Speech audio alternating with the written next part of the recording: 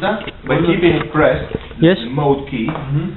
you pass from only wood, only pellet, or Mhm. combined wood pellet. So Ah, we, we go to the position only pellet, we keep it pressed, tick, and on off, we switch it on. And uh, starts working. Check up first phase, so the Okay. both fans are blowing.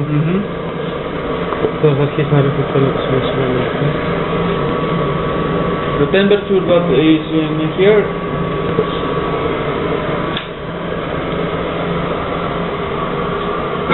the temperature written here is?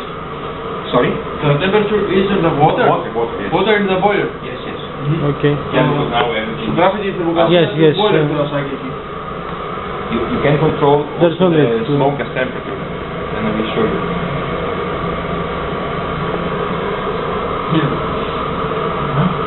Of course, in the combi system, Mhm. when you switch the boiler on uh, with the pellet mode, Mhm.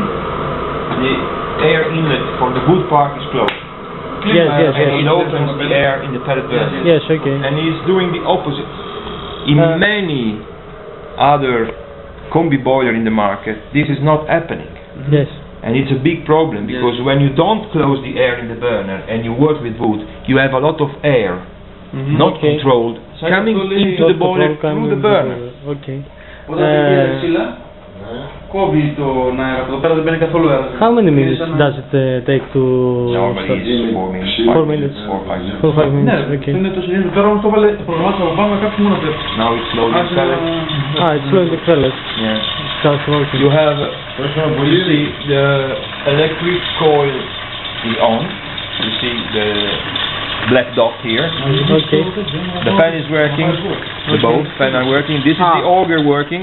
Okay. And now it stops. You see. Yes, yes, yes. And this is the photocell. Okay. This one, which is controlling the flame. Ah. Now it's not on because, Because he, he uh, can't see any flame at we the don't moment. have uh, we don't have uh, flame. at the moment he sees the flame, Mhm. switch it on.